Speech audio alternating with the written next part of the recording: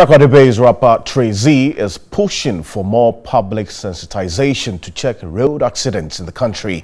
The rapper is out with a new single titled Or a Hit, which touches on life and how well to go about it.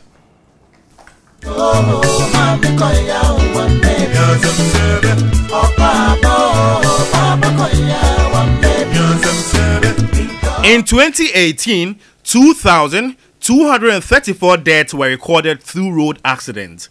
Despite several campaigns, it appears there is no end in sight to curbing the menace.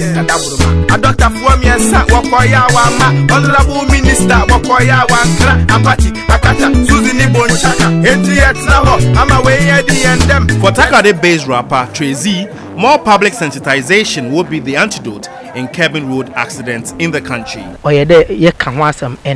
Mɛka dɛ yɛka ho asɛm no we talk about it.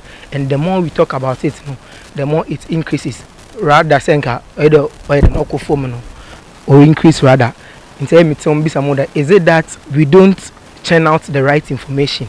Or we do but iron blacks nalana yɛ yɛ turn deaf ears to it.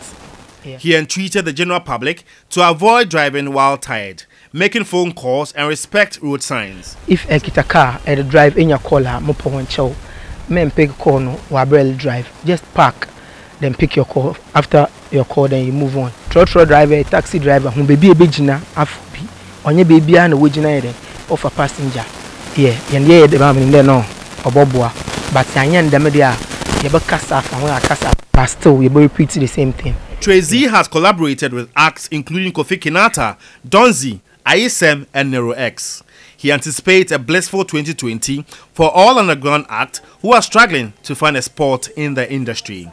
The Takoradi-based rapper is out with a new single titled Oye Hit featuring Kofi Kinata. The music talks about life and how patience can calm stormy waters.